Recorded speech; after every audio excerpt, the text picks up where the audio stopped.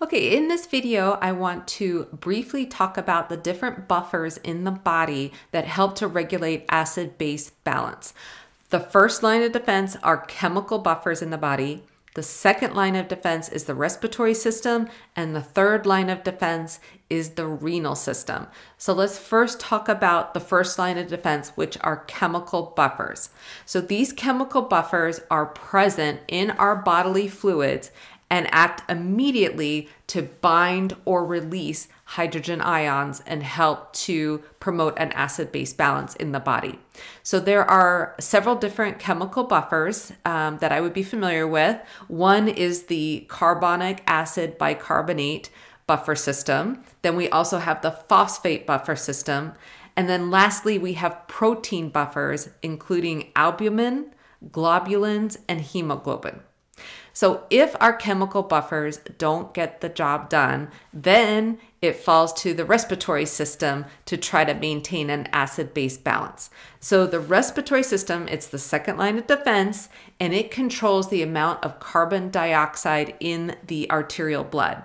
So in response to high CO2 levels or high amount of carbon dioxide in the arterial blood, the respiratory system will increase the depth and the rate of breathing. So basically, you'll have hyperventilation to try to get rid of that excess CO2 and therefore get rid of those ex excess hydrogen ions.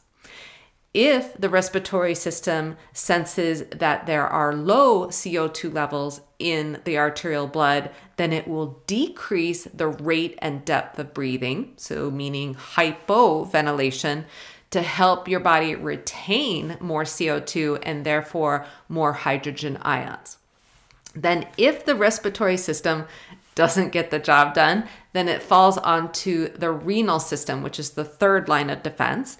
The renal system is slower to respond, but the response of the renal system is more powerful and more uh, long acting. So, the renal system if it senses that the blood pH is too low, meaning there's acidosis present, the kidneys will increase reabsorption of bicarbonate. So we're going to keep more bicarbonate and, and it will also excrete more hydrogen ions. So we're getting rid of those hydrogen ions and we're keeping more bicarbonate when the kidney sense acidosis is present. And then on the opposite, if the kidneys sense that the pH is too high, meaning we have alkalosis, it will increase excretion of that bicarbonate and increase reabsorption of those hydrogen ions. So, with those three systems in place, we hopefully will get to a place where we have acid base balance However, um, if the body doesn't get it, get the job done with those three lines of defense, there are several things we can do in terms of treatment of acid base imbalances, and we'll definitely be going over um, those in a later video here.